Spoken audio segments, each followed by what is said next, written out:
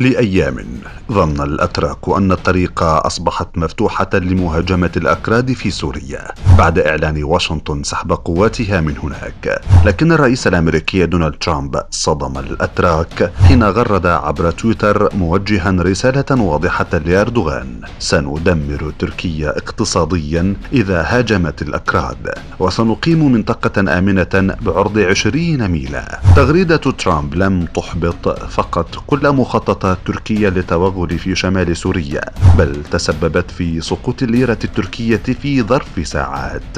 أردوغان هزم في معركته السابقة ضد ترامب. فقد اختطف القس الأمريكي أندرو برونسون لمقايدته بالمعارض فتح جولن المقيم بالولايات المتحدة وقال إنه لن يطلق سراحه إلا إذا تحققت مطالبه. Bu fakir bu görevde olduğu sürece o teröristi alamaz.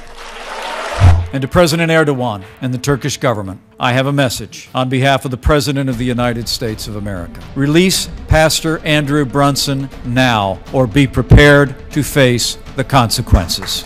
وبمجرد تهديد من إدارة ترامب هاوى اقتصاد تركيا واضطر أردوغان صاغرا إلى إطلاق سراح القس الأمريكي فهل سيتراجع أردوغان من جديد أمام تهديد ترامب؟